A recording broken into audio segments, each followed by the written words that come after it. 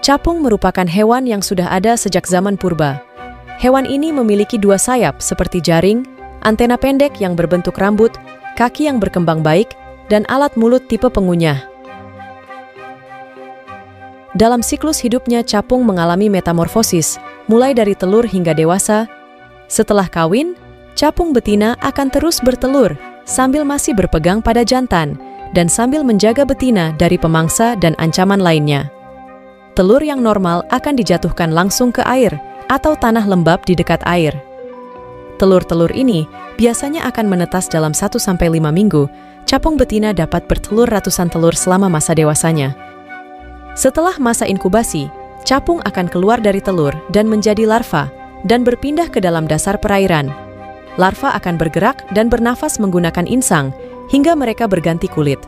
Setelah berganti kulit larva menjadi nimfa, Nimfa akan sangat ganas ketika ada yang mendekati sebagai bentuk pertahan diri dari ancaman makhluk hidup lainnya.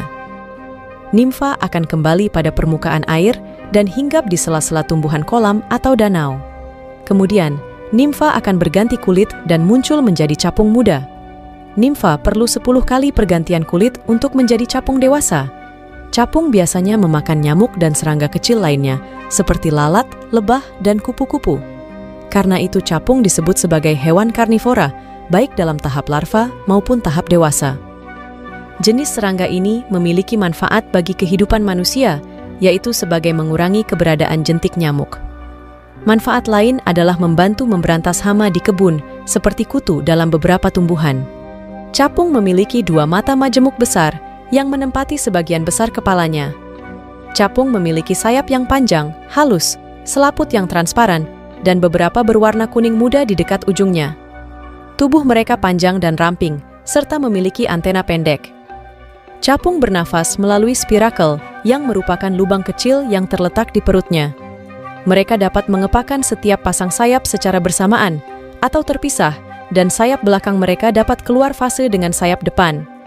Kepakan sayap mereka sekitar 50-90 kepakan per detik, Capung memiliki otot leher yang rumit yang memungkinkan mereka memiringkan kepala ke samping 180 derajat, ke belakang 70 derajat, dan ke bawah 40 derajat.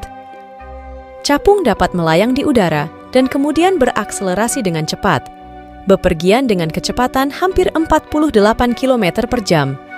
Capung adalah salah satu serangga bersayap pertama yang berevolusi sekitar 300 juta tahun yang lalu Capung modern memiliki lebar sayap hanya 2-5 inci, tetapi capung fosil telah ditemukan dengan lebar sayap hingga dua kaki. Beberapa ilmuwan berteori bahwa kadar oksigen yang tinggi selama era Paleozoikum memungkinkan capung tumbuh hingga seukuran monster. Ada lebih dari 5.000 spesies capung yang diketahui, semuanya bersama dengan damselflies, termasuk dalam ordo Odonata, Capung hidup di air dan memakan apa saja, seperti berudu, nyamuk, ikan, larva serangga lain, dan bahkan satu sama lain. Pada akhir tahap larva, capung merangkak keluar dari air, kemudian kerangka luarnya terbuka dan melepaskan perut serangga yang telah dikemas seperti teleskop. Empat sayapnya keluar, dan mereka mengering dan mengeras selama beberapa jam hingga beberapa hari berikutnya. Capung adalah penerbang ahli. Mereka bisa terbang lurus ke atas dan ke bawah, melayang seperti helikopter, dan bahkan kawin di udara. Jika tidak bisa terbang, mereka akan kelaparan karena hanya memakan mangsa yang mereka tangkap saat terbang. Capung menangkap serangga mangsanya dengan cara menangkapnya dengan kaki. Mereka sangat efisien dalam berburu. Hampir semua kepala capung adalah mata, jadi mereka memiliki penglihatan luar biasa yang mencakup hampir setiap sudut, kecuali tepat di belakang mereka. Terima kasih telah menonton video ini sampai akhir. Jangan lupa jika kalian belum subscribe channel ini, yuk subscribe channel ini agar kami lebih semangat dalam membuat video dan agar channel ini terus berkembang. Sampai jumpa lagi.